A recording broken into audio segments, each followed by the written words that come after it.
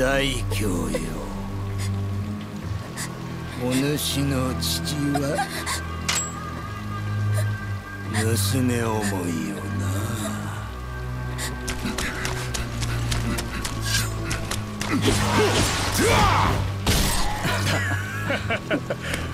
大殿が城内に向かわれました。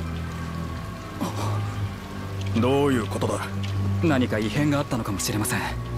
父上が怪しげな同士と話しているのを落葉で見かけました。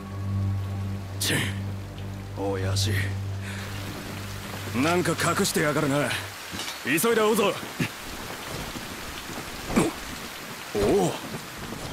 おおお前古老館だろ。あなたが噂の私は孫権あざ名を厨房と申します。今ちょっと厄介なことが起きていてな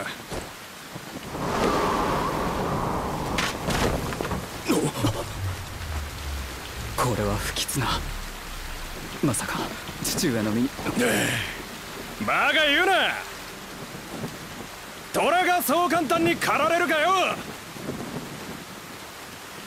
そうだろ親父